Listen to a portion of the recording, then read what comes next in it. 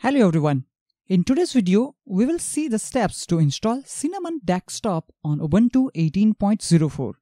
It is implemented in one of the most successful Linux distro, Linux Mint.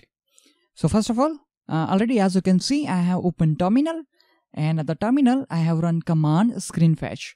And here you can see my operating system is Ubuntu 18.04 and right now I'm using GNOME desktop environment. So on this computer, we want to install Cinnamon desktop environment. So first of all, I'm going to check for the system update. And for that, I'm going to run command sudo apt update. Fine, all packages are up to date. Now we are clear to start the installation process. So to install Cinnamon desktop environment, I'm going to run command sudo space apt space install cinnamon hyphen desktop hyphen environment. And now we need to press enter key. If you want to continue, you need to type Y and then you need to press enter key. This process will take some time to complete because as it is going to download certain packages and then after those packages will be installed on our computer. Okay, as you can see, downloading and installation process has been completed successfully. Now we need to restart our computer one more time.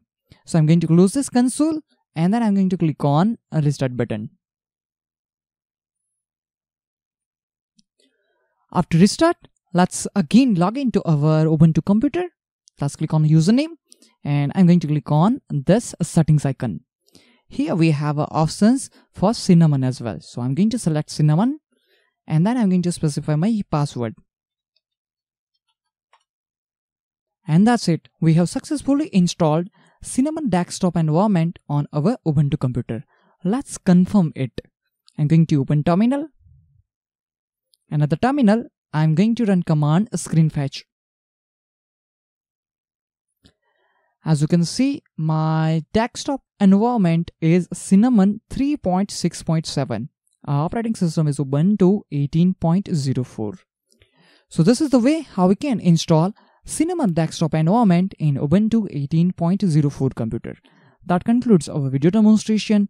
Thank you all for watching this video.